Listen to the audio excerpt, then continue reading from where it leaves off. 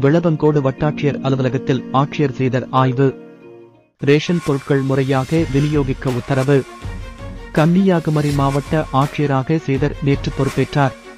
இதையடுத்து இன்று காலை விளவங்கோடு வட்டத்தில் மாவட்ட ஆட்சியர் செய்தர் ஆய்வு மேற்கொண்டார். அப்போது வளர்ச்சி திட்டப் பணிகள் தொடர்பான விவரங்களை கேட்டறிந்தார். பின்னர் ரேஷன் கடைகளின் செயல்பாடுகள் குறித்து விவரங்களை கேட்டார். பொங்கல் பரிசு தொகுப்பு விநியோகம் இலவச வேட்டி சேலை விநியோகம் முறையாக அனைவருக்கும் கிடைத்துள்ளதா என்பதை கேட்டறிந்து ரேஷன் பொருட்கள் விநியோகம் முறையாக இருக்க வேண்டுமென உத்தரவிட்டார். பொதுமக்கள் சான்றிதழ் கேட்டு அளிக்கும் மனுக்கள் மீது விரைந்து நடவடிக்கை எடுக்க வேண்டும் என்றும் உத்தரவிட்டார்.